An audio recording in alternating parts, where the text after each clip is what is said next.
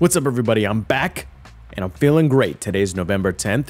I am over halfway through my little 30 day challenge for um, YouTube. I'm on, this is day 16, if I'm not mistaken. And uh, I just wanted to, I'm to go over some Twitter stuff like usual because, you know, that's what I do. I'm, I'm the Twitter news guy.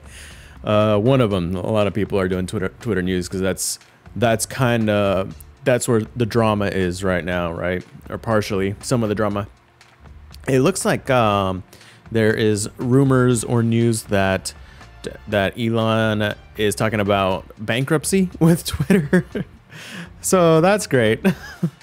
um yeah, but I just want I was just looking at my YouTube feed and I was like it's gotten really weird lately. I've got like stuff about animals and uh, what is uh, a lot of uh, music stuff. So um, and then other weird things. I guess I've just changed up what I've been watching lately. But let's go on to Twitter, shall we? I was just kind of going through here. I never really go to explore because uh, I don't know what I just never do and there's some sports stuff going on, which I'm not a fan of sports really. But on my last video, I was like, there were two check marks, but Elon Musk got rid of them.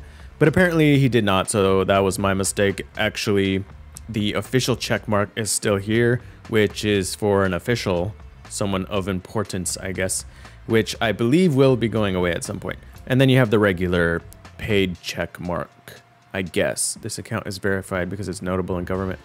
Okay, so maybe not. I really have no clue because this apparently he got this. This must be the old check mark because he was um, notable. And now he has this new official check mark. I really have no clue what's going on with the check marks. And you can see it's in the feed as well right here. So who knows? But uh, yeah, Bill Gates is double check marked. I'm only single check marked. So that's no fun. Like, where's my double check mark? But uh, Mr. Joel Roth and head of sales Robin Wheeler are departing the company. And so these were the head of trust and safety. Now, I don't know, were these guys before um, Elon came or not? I'm not sure. Maybe this article will shine some light. Elon Musk, in his first address to Twitter Inc., uh, employees said, or employees, Twitter Inc. employees, I can't read, since purchasing the company for 44 billion said that bankruptcy was a possibility if it doesn't start generating more cash. Well, of course, if you're not generating cash, then yeah, bankruptcy is a possibility. And um, yeah, it says here Yoel Roth, Robin Wheeler resigned. Uh, it goes on to say that uh, employ employees should brace for 80 hour work weeks. We already know that he was telling everybody that you got to work hard and all that stuff. If you don't want to come, resignation accepted. Musk has in the past used the threat of financial ruin in an attempt to motivate workers. So it could be that he's just saying, hey, we're going to go bankrupt. Better work hard or else y'all y'all's jobs are going to be on the line. He's trying to convey the notion that if people don't work hard, Twitter will be left in a very difficult spot. This person said. Some person. We don't know who it is. He also hinted at products he'd like to introduce, including payments, ads that are more conversational. I'm not sure what that means. Have a conversation with an ad.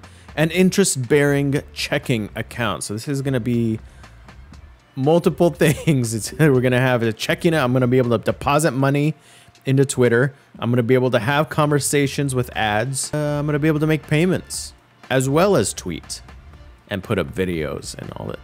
What can't it do? What can't Twitter do? Uh, it goes on to say a bunch of other stuff about money. I don't really care. And then, of course, we have Mr. Zuckerberg. What? What? This isn't Twitter.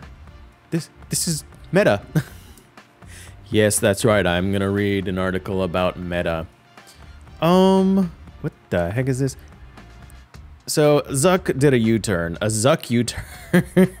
is Zuck a noun? Uh, or what is that? An adjective? I don't know. Describing word? About two uh, weeks ago, Mark Zuckerberg raised a giant middle finger to investors who were clamoring for cost cuts. The move went stunningly wrong, crushing the shares of Facebook parent company Meta. The young billionaire founder didn't take very long to learn his lesson. Meta is now worth about 250 billion, less than Home Depot, a seller of wrenches and flower pots.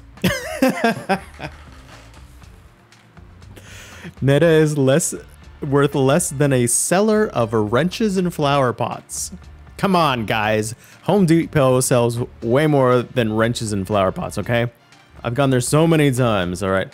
Although I did buy flower pots from Home Depot and flowers, plants. Apple is worth more than eight times Zuckerberg's company. Isn't that wild? So yeah, I don't know what's going on with the Zucker iceberg, the Zuck meta, but uh, I am interested in getting a Quest headset. So maybe, uh, is that what they're called? Oculus Quest? Yeah. Uh, that's all the news that I have. I have nothing else to talk about. Watch my last video. It's called Touch Grass. I honestly don't remember what it was about. It's about Twitter and some other stuff. Oh, like VR and stuff. Yeah, so go ahead and watch that. I'll see you guys next time.